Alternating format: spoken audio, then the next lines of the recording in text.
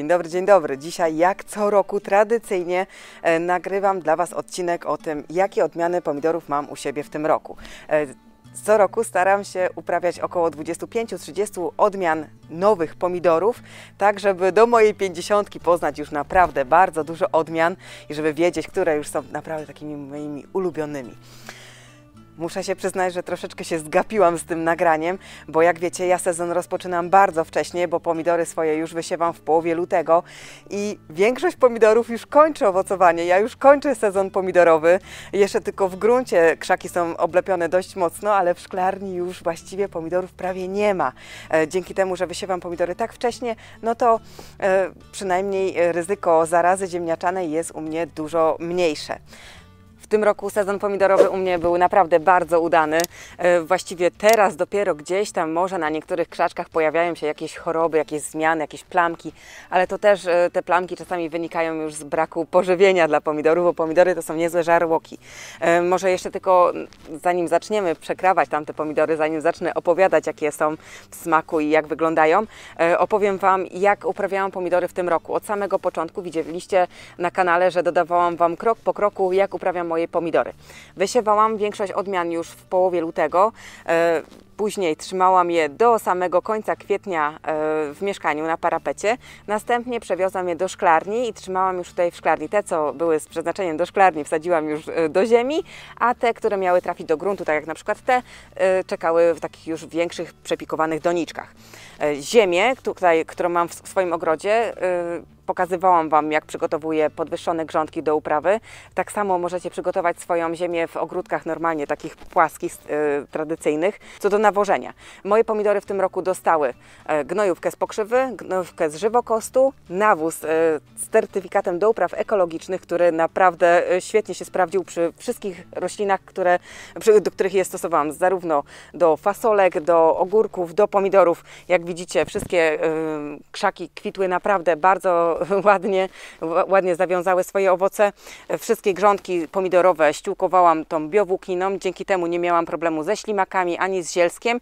Jedyne co mi się tutaj przebijało no to skrzyp, ale też nie w jakichś super dużych ilościach pomimo brzydkiej pogody w tym roku, bo tak naprawdę sezon e, w roku 2021 był bardzo trudny, bo mieliśmy bardzo późną wiosnę, mieliśmy bardzo zimne noce, e, bardzo dużo opadów i do tego jeszcze no, cały czas, przez całe lato chłodne noce.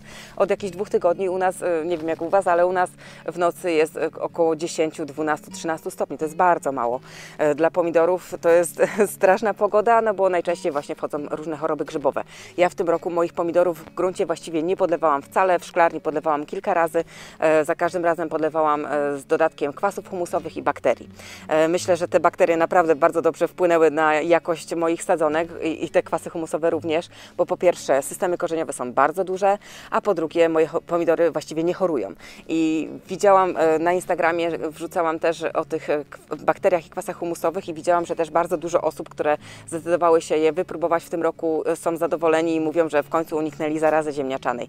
Nie opryskiwałam ani miedzianem, ani żadnymi środkami grzybobójczymi, a jak widzicie krzaki są naprawdę bardzo ładne, zdrowe. To co, to idziemy zrobić przegląd wszystkich odmian.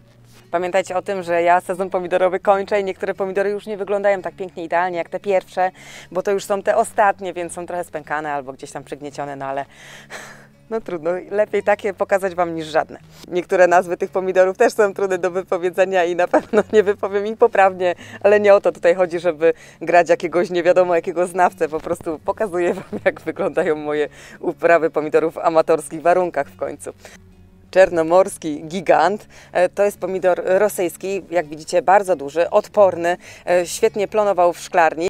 Jest mięsisty, słodki i bardzo duży. Niektóre osiągnęły ponad kilogram. Kuma.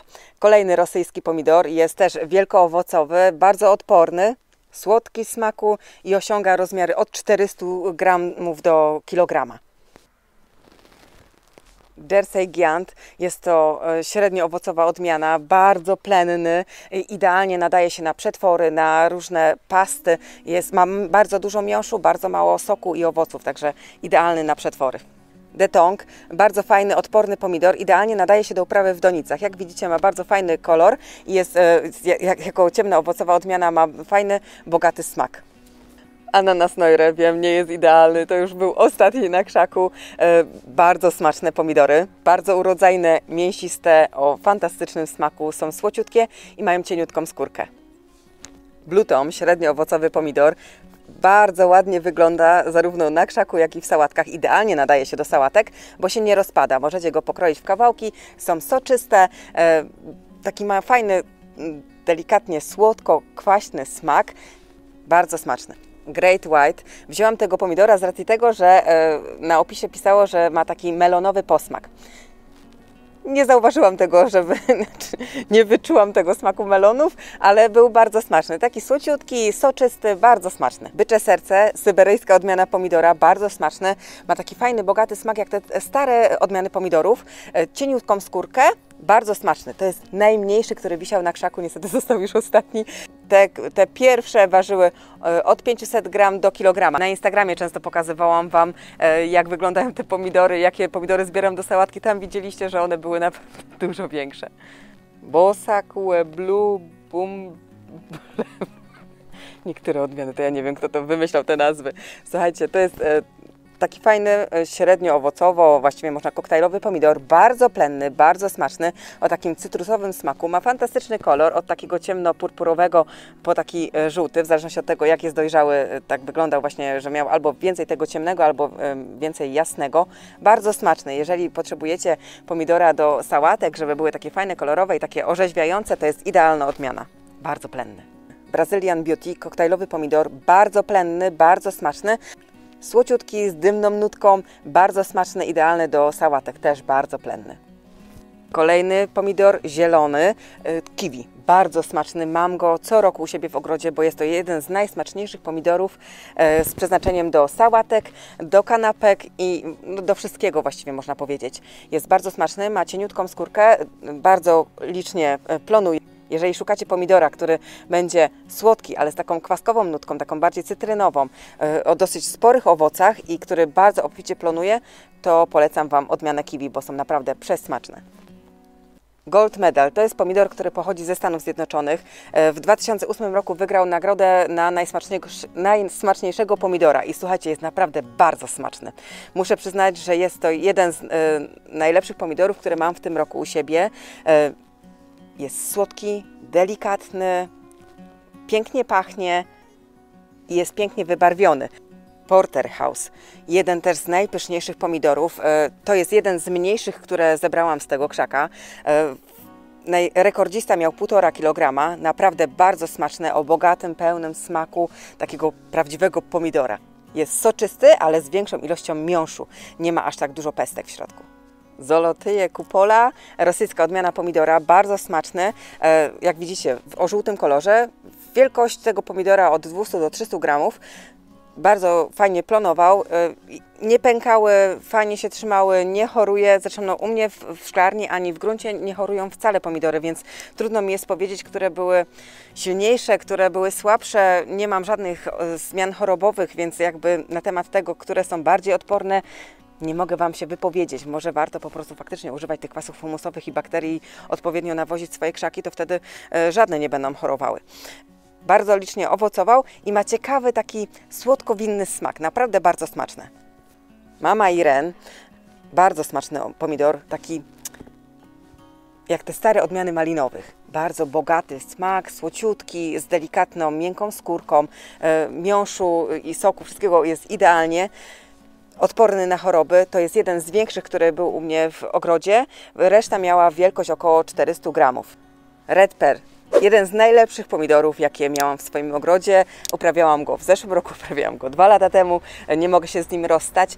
Ma e, naprawdę cudowny smak, taki soczysty, delikatną, miękką skórkę. Idealnie nadaje się zarówno na kanapki, jak i do sałatek. Chociaż e, jeżeli e, do sałatek, to takich przekładanych, żeby nie, za bardzo go nie mieszać, bo jest mięciutki.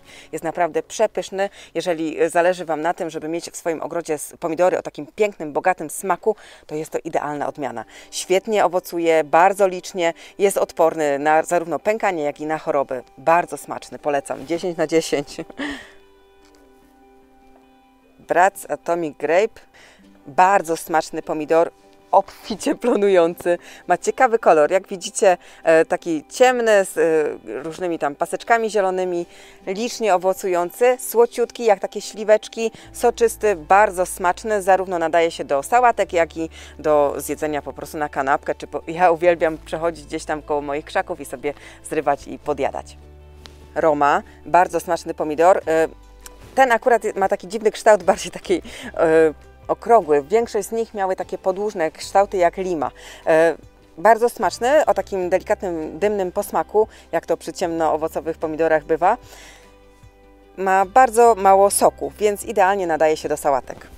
Też obficie plonuje, także jeżeli szukacie pomidorów, które będą oblepione od góry do dołu, to ten nadaje się idealnie. Czernoje serce, bardzo smaczny pomidor, słociutki, e, fajny, mięsisty. Taka ciekawostka, że świetnie zawiązuje się przy spadkach temperat, także w takich kiepskich warunkach jak w tym roku zawiązywały się naprawdę bardzo fajnie. Oręż banana, jak widzicie, ma fajny taki pomarańczowy kolor i podłużny kształt. Idealnie nadaje się do sałatek i na przetwory. E, ma bardzo dużo miąższu.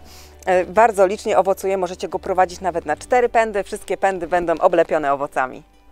Dark Tiger, pomidor o kolorze indygo, bardzo smaczny, jak takie śliweczki. Jest soczysty, słociutki, ma delikatną skórkę, bardzo dobry.